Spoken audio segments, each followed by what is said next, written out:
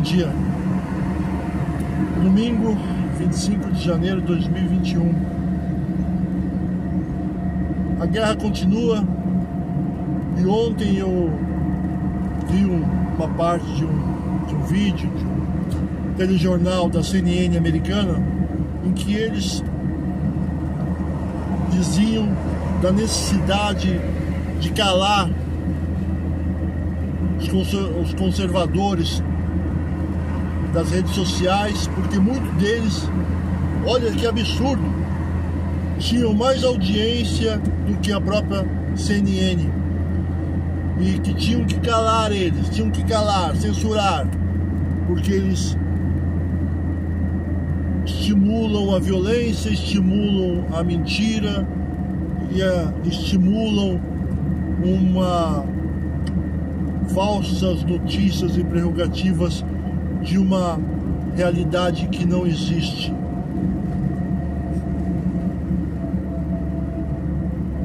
Você ouve uma coisa dessa numa emissora oficial, numa emissora de um, de um canal aberto, enfim.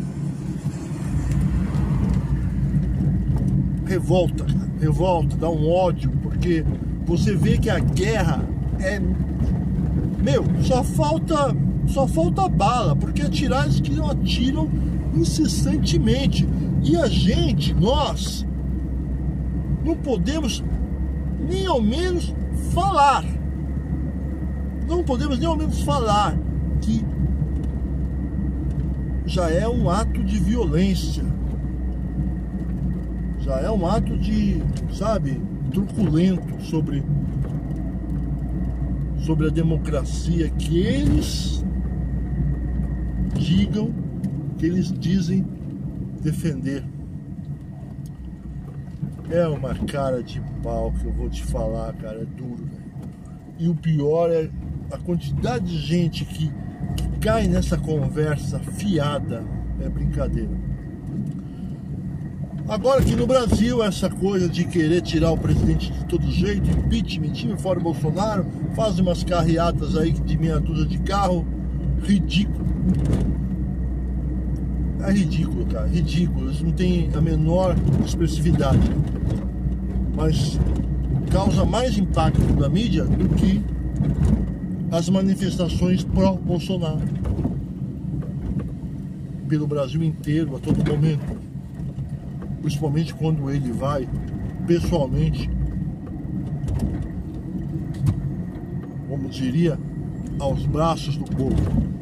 Isso não passa, isso aí se apaga, deleta. Eu queria que eles fizessem o impeachment. Eu queria. Eu queria que eles tentassem tirar o Bolsonaro. Eu tenho certeza que o pau ia, ia quebrar e eu queria ver o pau quebrando. Nossa, meu, como eu queria ver esse, esse país pegando fogo. Porque não dá mais para suportar, cara. Me desculpa, não é que a gente quer guerra, não é que a gente quer ver sangue, não é que a gente quer ver a cabeça desses, esquer, desses esquerdopatas, sabe, na ponta das lanças. Não é isso. Mas, meu, chega um ponto que tá insuportável.